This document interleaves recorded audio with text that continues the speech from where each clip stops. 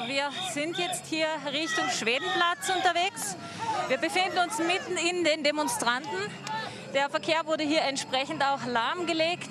Man hat hier sich zum Schwarzenbergplatz bewegt, dann ist man zum Heumarkt gegangen.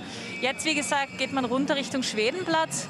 Also die Menge, man sieht es, die Leute sind unterwegs, sie demonstrieren, sie setzen sich ein für ihre Rechte und versuchen hier gegen den Impfzwang vorzugehen.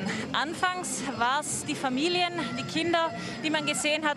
Mittlerweile haben sich auch einige Verschwörungstheoretiker darunter gemischt und Leute, die hier entsprechend für Aufsehen sorgen, auch ein bisschen Trubel machen. Die Leute haben ihre eigenen Instrumente mitgebracht. Trommeln sieht man auch, viele Flaggen und auch viele Studenten, die unterwegs sind und versuchen hier aufmerksam zu machen auf ihre Rechte. Also eine bunte Truppe, die sich hier auf den Weg gemacht hat, um zu demonstrieren. Man sieht es jetzt auch, die Menge wird jetzt geteilt, geht jetzt hier links hinauf.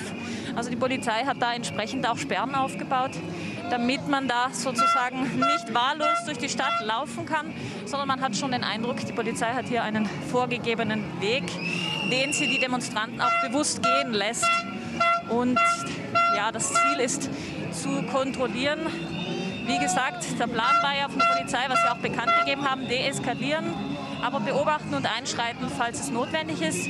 Man sieht es an den Sperren. Also hier ist definitiv ein Weg vorgezeichnet, den die Demonstranten gehen sollen, damit es nicht zur, zur totalen Eskalation kommen kann.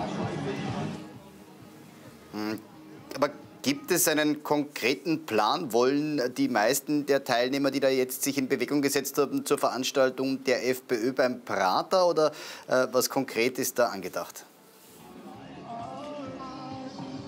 Also ich hab, konnte mit einigen der Teilnehmer sprechen. Ein Teil davon hat gesagt, sie möchten definitiv auch noch zur FPÖ und dort dann auch bei der Demonstration teilnehmen. Der restliche Trupp begibt sich auf den Schwedenplatz, um da dann noch anzuschließen.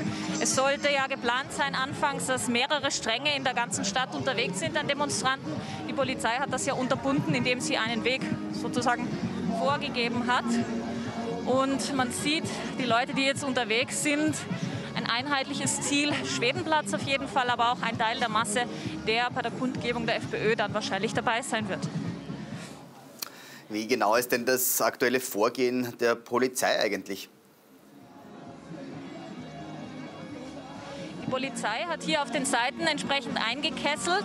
Das heißt, die Demonstranten können hier nicht wahllos durch die Gegend laufen, sondern haben an den Seiten entsprechende Polizeikontrollen. Das sind auch die entsprechenden Konvois, die hier ein Weiterkommen verhindern.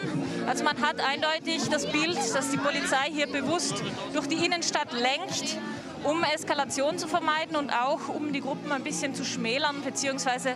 den Drang an Menschen ein bisschen einzugrenzen.